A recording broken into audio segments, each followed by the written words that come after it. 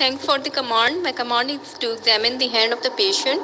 On examination of hand, there is a well-defined solitary flesh-colored erythematous nodular lesion extending from lateral nail fold to tip of thumb. Lesion appears translucent with overlying oozing and some whitish areas also present over it. It is soft in consistency, painful, about 4 into 2 centimeter in size. The surrounding skin is swollen erythematous with exfoliation of the skin.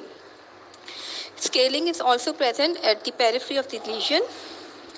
And uh, then I will examine the other body areas such as other sides, uh, feet, lips and other hand, trunk for similar lesion.